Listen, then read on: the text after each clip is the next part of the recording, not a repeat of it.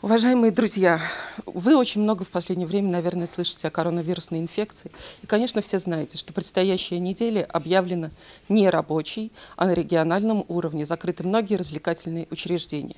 К сожалению, эта мера вынужденная, но, я считаю, очень своевременная. Давайте обратимся к цифрам. Мы, медики, очень много призываем вас самоизолироваться, меньше контактировать с людьми. Почему? Вы знаете, что вся эта ситуация началась с Китая.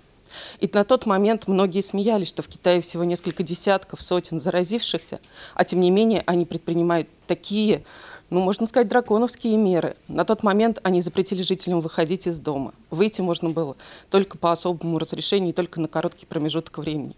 Они изолировали всех пациентов, и посмотрите, что в итоге они получили. На настоящий момент вспышка в Китае практически ликвидирована. У них суммарно всего 80 тысяч заболевших. И за последние сутки было выявлено всего 5 новых случаев коронавирусной инфекции.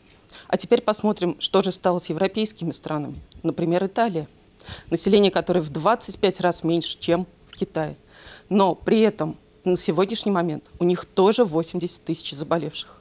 И за вчерашние сутки умерло 900 человек.